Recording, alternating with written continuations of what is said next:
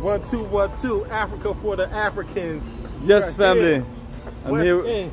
I'm here, family. Literally, family. We just finished the Malcolm X Fest. Me and my brother Kwame Asante and our brother Kwesi Boyd. Yeah. Live in the flesh, family. I got this macaroni, this vegan macaroni, and this vegan collard greens. Well, I collard greens, and they got some ribs. They made it somehow, but it's, it's vegetable. But we gonna eat. We gonna eat in every way.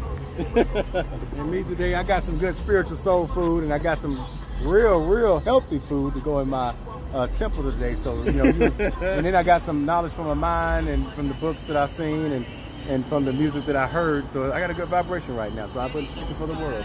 There you go, family. And we're right here in the West End at the Malcolm X Fest.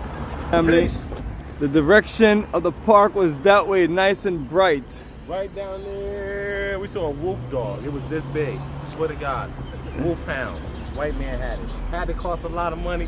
We seen a lot of cars, a lot of nice ladies out today. No, nice lady. And so you see all the white people popping up in the neighborhood all over the place. Yeah, man. Yeah, yeah. This So, is the- so this Kwame, this is where you're breaking, man. You're heading that way? You parked over there?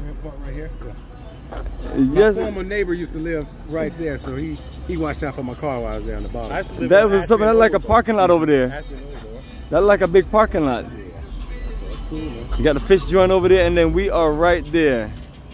I mean fish, yeah. I mean- I mean blazing. All right, fellas, I'm gonna go home and do appreciation. Absolutely, bro- I see absolutely, absolutely, brother. Hey, Thank me you. up. You got Wait, to do LinkedIn. Yeah, man, absolutely.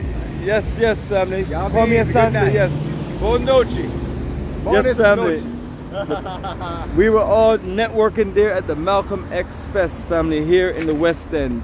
Having a great time networking, connecting, all that good stuff. You know what I'm saying?